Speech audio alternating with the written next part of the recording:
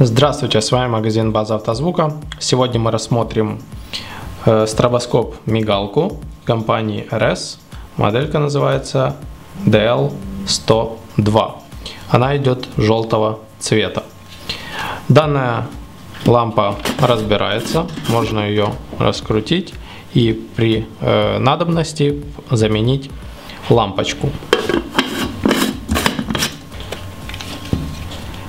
Основа идет магнитовая, можно на, любой, на любую металлическую поверхность данную мигалку установить.